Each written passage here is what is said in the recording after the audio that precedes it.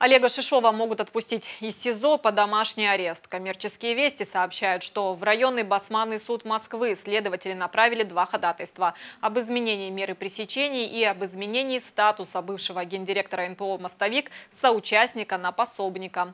Напомню, Шишов находится в изоляторе «Матросская тишина» уже 8 месяцев.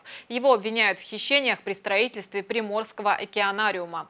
В апреле Олег Шишов заключил сделку со следствием, дал показания на второго фигуранта фигуранта Андрея Поплавского. Он, в свою очередь, считает, что океанариум недостроили исключительно из-за ошибок, допущенных Шишовым.